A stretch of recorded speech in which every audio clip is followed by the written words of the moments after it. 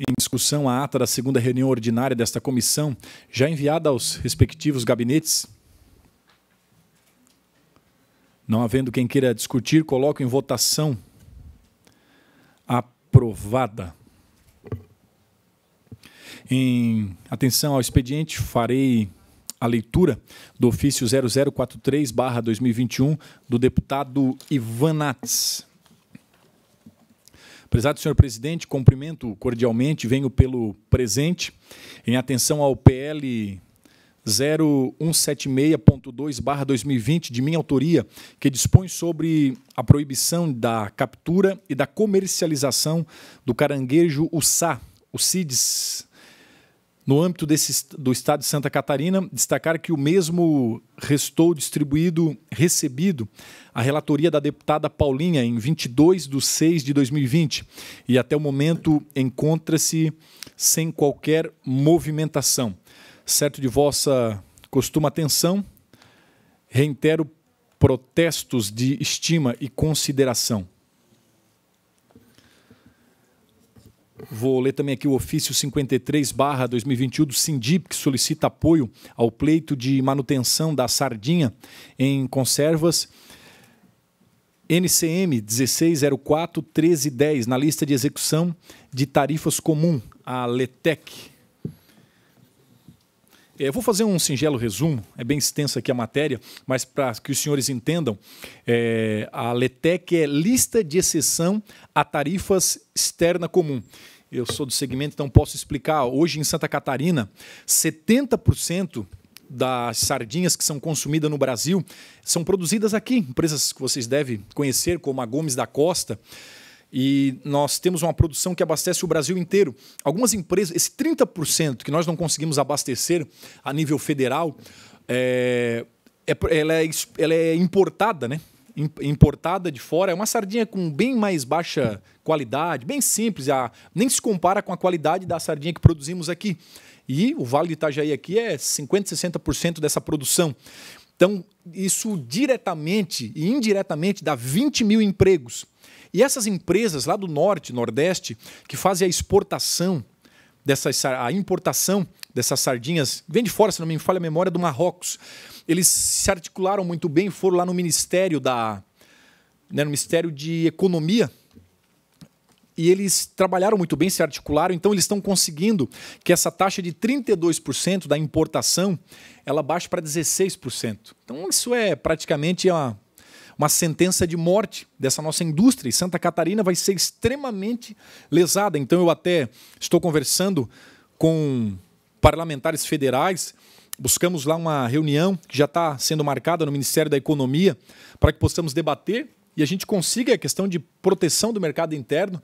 Né? Então a gente está mobilizando o máximo de parlamentares para chamar atenção e de repente conseguimos manter essa tal taxa LETEC, né, ali na casa dos 32%, porque isso foi súbito também, declarado assim subitamente, porque querem fazer essa alteração, mas isso vai ter um impacto muito significativo aqui para o nosso Estado, que praticamente, como eu falei, torno a dizer, é o, é o atestado de óbito dessa indústria de sardinha aqui do nosso, do nosso estado.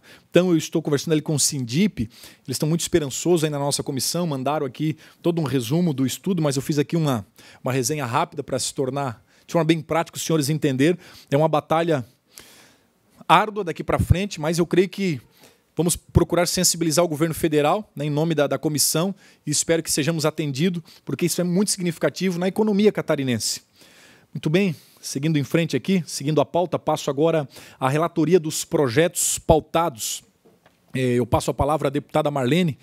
O autor do projeto é o deputado João Amin, dispõe sobre a aquisição por restaurantes e estabelecimentos congêneros de pescado fresco diretamente dos pescadores artesanais e aquicultores.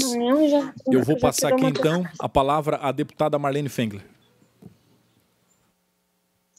Boa tarde, presidente deputado Felipe Estevam. Boa tarde, demais colegas, membros da comissão. É, está sob a minha relatoria o projeto de lei número 033.0/2019, que dispõe sobre a aquisição por restaurantes e estabelecimentos congêneres de pescado fresco diretamente dos pescadores artesanais e aquicultores. É, o autor do projeto é o deputado João Min, É, e, e trata-se de uma proposta legislativa, né, de autoria do deputado João Amin, que objetiva facultar, no âmbito do Estado de Santa Catarina, aos restaurantes e estabelecimentos congêneres a aquisição de pescado fresco diretamente dos pescadores artesanais, desde que aqueles mantenham áreas exclusivas para recepção e manipulação do pescado com pessoa capacitada para essa finalidade. O autor justifica a medida nos seguintes termos, página 2 dos autos eletrônicos.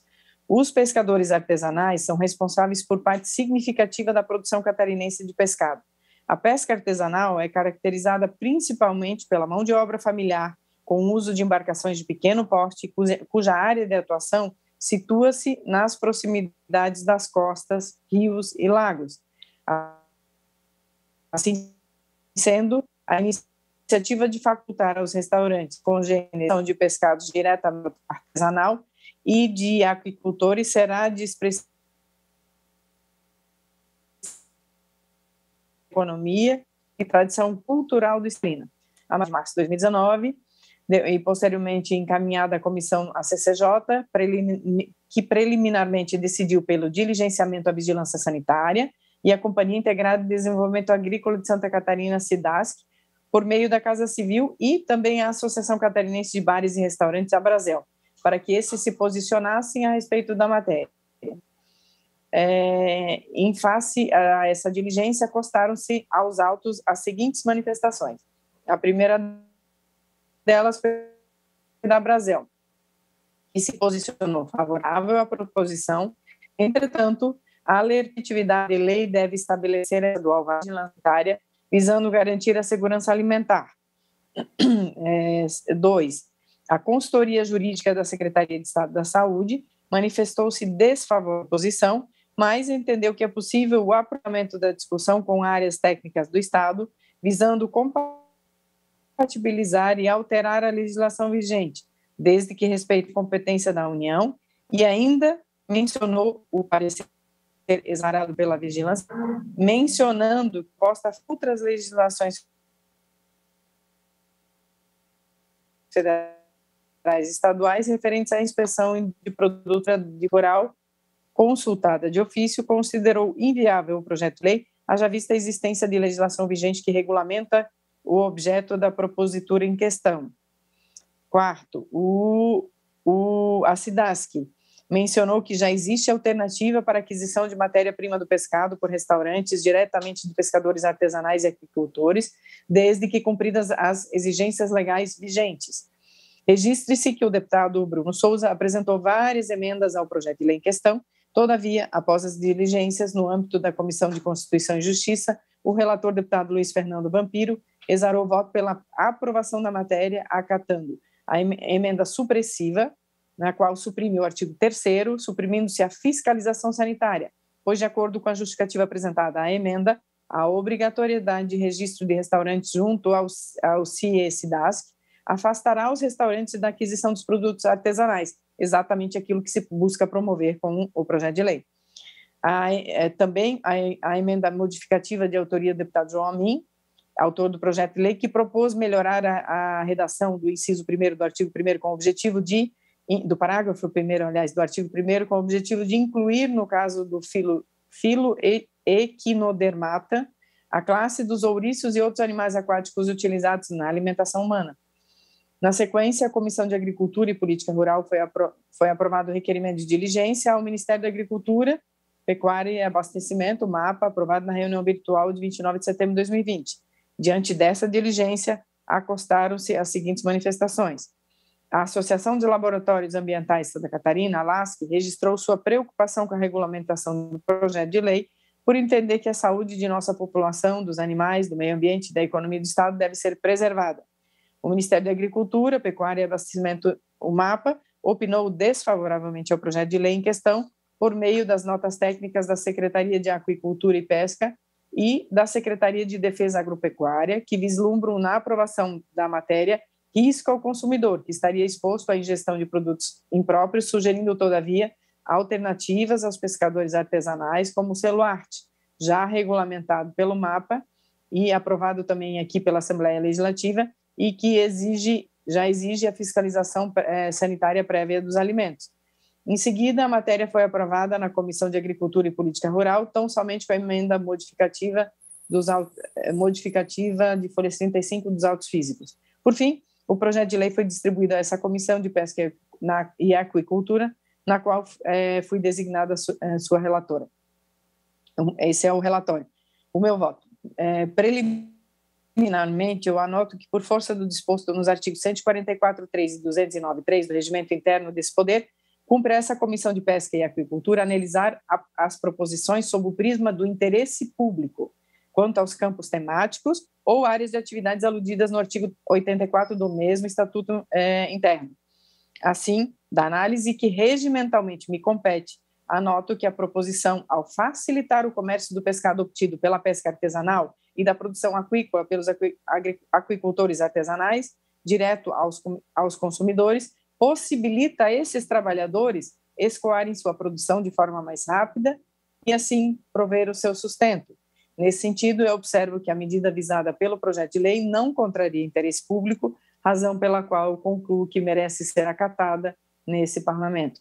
Com relação às emendas aprovadas no âmbito da CCJ, eu entendo que merecem prosperar, sim, na medida em que buscam tornar mais favorável a pequena empresa que vem adquirir produtos frescos de pescadores e aquicultores artesanais, as regras de fiscalização e ainda trazer melhor redação ao parágrafo 1 do artigo 1 da proposta. Dessa forma, eu entendo que tanto a emenda supressiva de folhas 12 quanto a emenda modificativa de folhas 35 devem ser, sim, acolhidas por esse parlamento. Ante o exposto, vez que é atendido o interesse público, é, mais uma vez, que é o objeto da nossa comissão, nos termos do artigo 84, 144, 3 e 209, 3 do Riales, que eu voto no âmbito dessa Comissão de Pesca e Aquicultura pela aprovação do projeto de lei número 033.0/2019, com a emenda supressiva de folha 12 e a emenda modificativa de folha 35. Esse é o meu voto, senhor presidente. Em discussão. Parecer de autoria da deputada Marlene Fengler, não havendo quem queira discutir, coloco em votação Favoráveis permaneça como estão. Aprovado.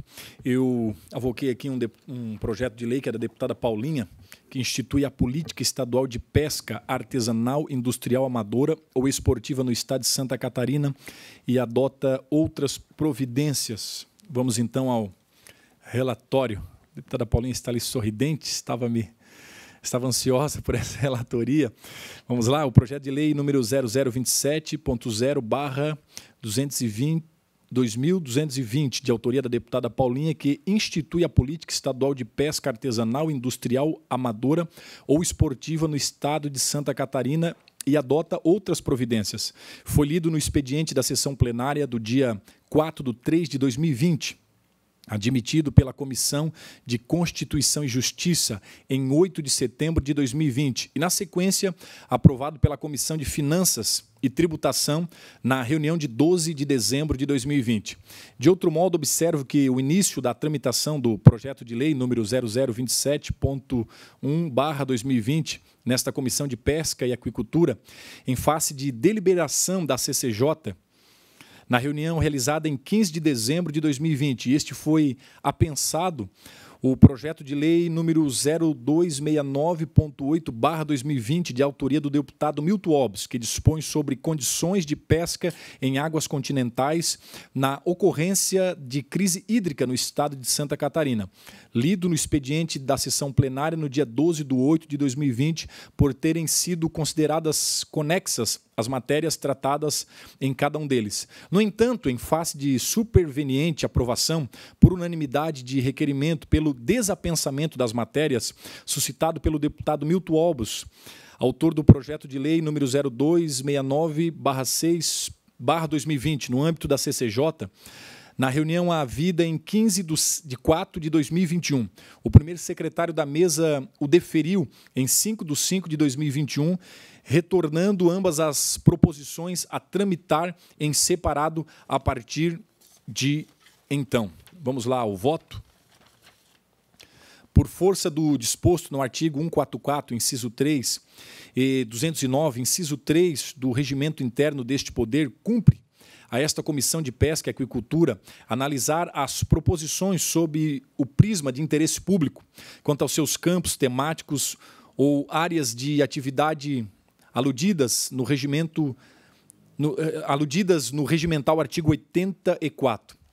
Em face do que, ao me sentir, ao meu sentir, o projeto de lei está apto a regular tramitação neste parlamento na medida em que converge para o interesse da coletividade catarinense, o disciplinamento da política pesqueira artesanal, industrial, amadora e esportiva no estado de Santa Catarina. Ante o exposto, no âmbito deste colegiado, reconhecendo o mérito da proposição legislativa almejada, com fundamento no artigo 144, inciso 3, 146, inciso 1, 149, parágrafo único e 209, inciso 3, do RIALESC, no âmbito desta Comissão de Pesca e Aquicultura, conduz o voto pela aprovação do projeto de lei número 0027.1 2020. Em discussão, o parecer de minha autoria. Senhor presidente, permite?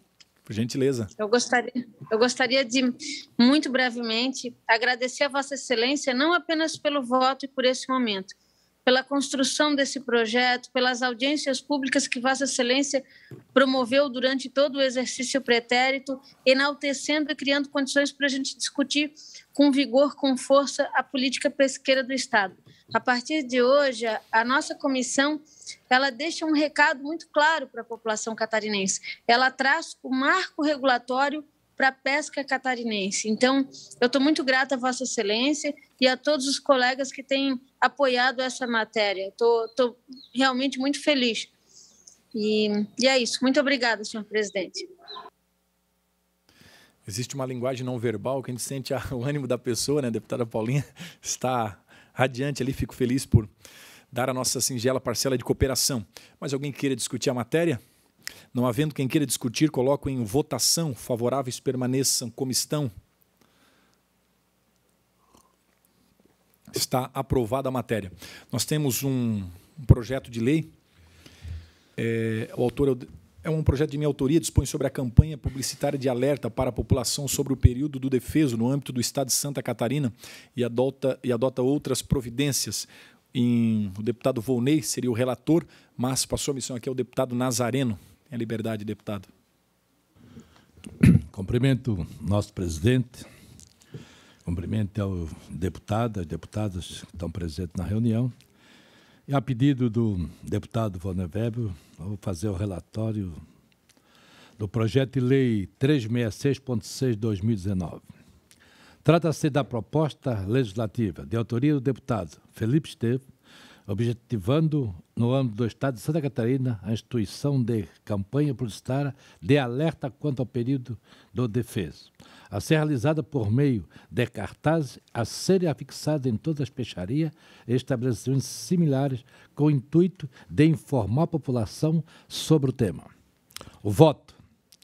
Da análise que regimentalmente me compete, Anoto que a proposição, ao pretender conscientizar a população catarinense sobre o período do defeso, contribuirá para a preservação e a recuperação da biodiversidade aquática do estado de Santa Catarina, pelo que vislumbro presente na proposta de seu interesse público, razão pela qual concluo que merece ser acatada neste Parlamento. Ante o exposto, vez que é atendido o interesse público, nos termos do artigo 84, item 140 para 1 e 2, item 1 e 2 e 2 da Rei Alesc, voto no âmbito desta Comissão de Pesca e Agricultura pela aprovação do projeto de lei 366.6 de 2019. Esse é o voto relator, von, deputado Vonei Weber. Era isso, senhor presidente, que tinha para relatar. Em discussão, parecer de autoria do deputado Nazareno. Então, mas deputado Vonei, representando o deputado Vonei. Não havendo quem queira discutir, coloco em votação. Favoráveis permaneçam como estão. Está aprovado. Senhores, antes de nós nos encaminharmos aqui para o término da nossa, da nossa reunião, eu recebi aqui né, o o ofício do Sindip, com aquela questão que eu falei aos senhores, né, daquela taxa Letec da indústria da sardinha, que está muito preocupada, eles estão aflitos, como eu falei, são 20 mil empregos aqui no estado, diretamente e indiretamente, que vai lá da pesca extrativista ali em Laguna, essa semana tem 14 ou 15 barcos de sardinha, entrou, um barco no terminal pesqueiro de Laguna com 300 toneladas de sardinha. Então tem aquela briga lá pela dragagem do, do porto, porque às vezes não entra, que são toneladas de sardinha que vem para Itajaí, onde é feito esse beneficiamento. Então, entrando sardinha de outros países aqui a, com com, as, com o incentivo que terá, né, com essa tal taxa sendo mudada, isso é, declara a morte dessa indústria. E é uma judiaria com o pescador, da, da, do pescador lá do extrativista até a indústria que beneficia esse produto.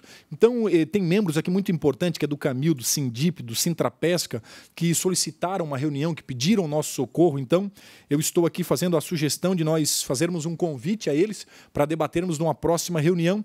E é a minha sugestão, então, à nossa comissão, para atendermos eles nesse momento lúgubre, que eles estão bem aflitos. E eu coloco aqui em votação para fazer então esse convite para debatermos essa reunião. Alguém tem algo a comentar? Só, só quero dizer ao presidente que concorda realmente para a gente entender bem a situação. Mas realmente, se nós não proteger o nosso nosso pescador, o nosso pescador catarinense, nós vamos levar tudo. Muito né? bem. O lado pior. O conhece um pouquinho da realidade, são inúmeros barcos de sardinha que estão já meio aflitos. Então, os deputados que aprovam permaneçam como estão. Fica aprovado, então, eu vou formular esse convite ao senhor André Ferreira, que é diretor, é, de, diretor de suprimentos Camil, Francisco de Assis, que também é lá do Camil, é, é José, José, José Neves, lá do Sindip, é o Jorge Neves, né, nosso amigo, do Sindip, é, do Sintrapes, que é o, o Zé Henrique, né, representando o governo federal, para a gente se aprofundar no debate desse assunto. E queira Deus que a gente possa trazer boas novas aí né, após a nossa reunião lá de Brasília, sensibilizar o governo federal. Acredito que eram esses os nossos trabalhos, não havendo mais assuntos a tratar, então declaro encerrada a nossa presente reunião. Muito obrigado a todos.